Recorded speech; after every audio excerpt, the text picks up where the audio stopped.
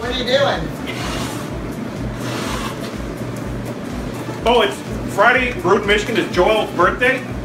Trying to make balloon animals. All I know is the cow and Sunny. Does anybody have a marker?